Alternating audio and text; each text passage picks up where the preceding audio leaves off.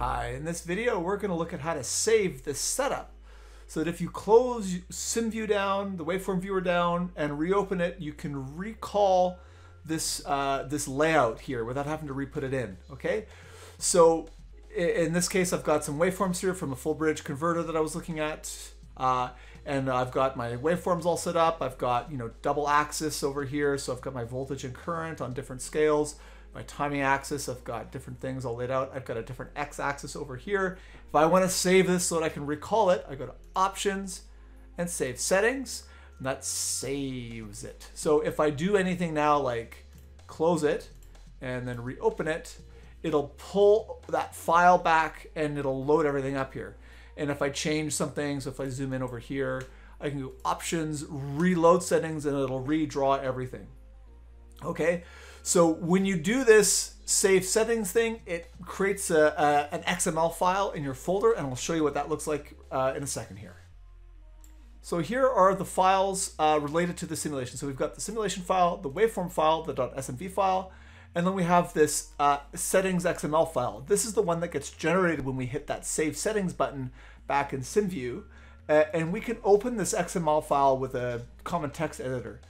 And this contains all of the background information in here. You can go through this and edit it and do things to it if you want to. Uh, it's relatively straightforward to see once you kind of get into it.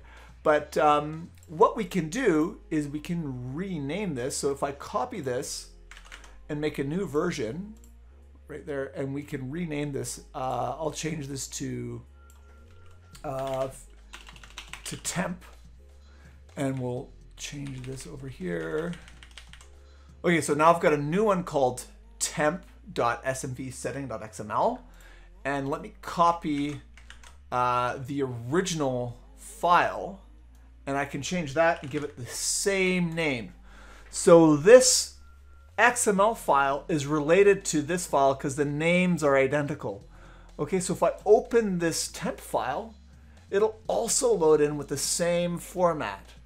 Okay, so that's that's how that settings files work. So uh, you can have multiple versions of this XML file and it'll always load in the one that's matching to your current file name.